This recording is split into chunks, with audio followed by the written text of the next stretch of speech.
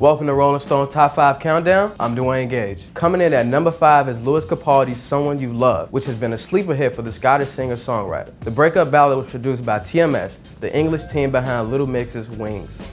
the day bleeds into nightfall. Debuting at number 4 is Selena Gomez's Lose You to Love Me. Gomez wrote the song with Justin Tranter and Julia Michaels, who she worked on with her 2015 album, Revival.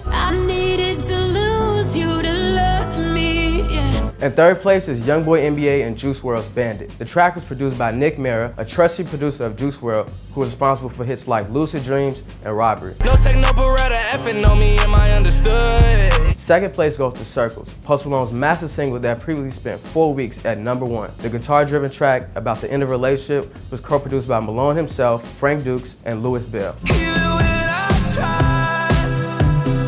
And at number one for the third straight week in a row is Highest in the Room by Travis Scott. The song was produced by Oz, Nik D, and LaFlame's most frequent collaborator, Mike Dean. Dean is known for his previous work with Kanye West and has worked on all of Scott's albums since his studio debut entitled Rodeo. Me,